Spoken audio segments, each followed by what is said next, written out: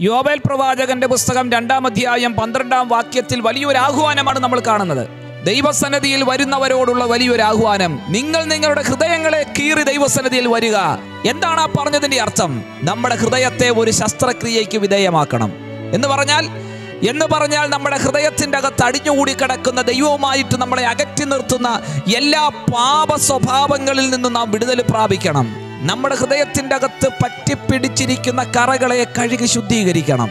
അങ്ങനെ ഒരു ഹൃദയ തകർച്ചയോടെ നിങ്ങൾ ദൈവസന്നദ്ധിയിൽ അടുത്തു വന്നാൽ ഞാൻ നിങ്ങളോടും അടുത്തു വരാം എന്നാണ് ദൈവം പറയുന്നത്. അതേ പ്രിയപ്പെട്ടവരെ സങ്കീർത്തനക്കാരൻ പറയുന്നത് പോലെ ഹൃദയം നുറുങ്ങിയവർക്ക് ഹോവാ സമീപസ്ഥൻ മനസ്സ് തകർന്നവരെ അവൻ വിടുവിക്കുന്ന ദൈവമാണ്. എന്റെ പ്രിയപ്പെട്ടവരെ നമ്മൾ ദൈവസന്നിധിയിൽ മുഴങ്കാൽ മടക്കുമ്പോൾ അനുതാപത്തോടെ പ്രാർത്ഥനയോടെ കണ്ണുനീരോടെ ദൈവസന്നിധിയിൽ വന്നാൽ തീർച്ചയായിട്ടും അതാണ് ദൈവത്തിന് പ്രസാദകരമായിരിക്കുന്നത്. ഒരു പ്രാവശ്യം കൂടെ നമുക്ക് ദൈവസന്നിധിയിൽ നമ്മളെ തന്നെ താഴ്ത്താം. നമ്മളെ തന്നെ ഒന്ന് ക്രമീകരിക്കാം.